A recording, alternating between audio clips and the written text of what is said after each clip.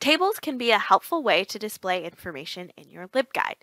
It is very important to make sure that the tables are accessible by thinking through their design. This includes a title or a label for your table, as well as ensuring that your headers are marked as headers so that a screen reader understands how to present the information in your table. I will now demonstrate how to add a table properly in LibGuides. So step one is to add a box. And then add rich text or HTML. From here, you can see that we have an option to create a table, and you can choose how many rows and how many columns. It is important to mark which are headers. So do you have first row, first column, or both? So if it is the first row, you can mark as such. Then it is important to um, change the class here.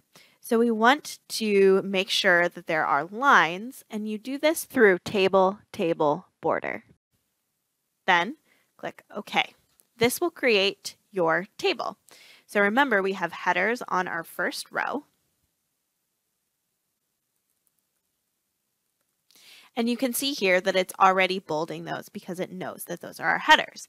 We can fill in the rest of the information as such. Then we save and close.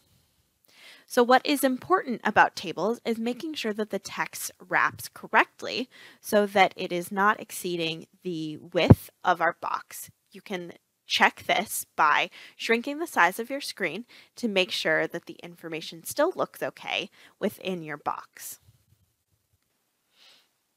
So now you can see here that our table looks okay um, in mobile view. So there is no weird text going outside of our box and you can clearly see the header of the table listed here.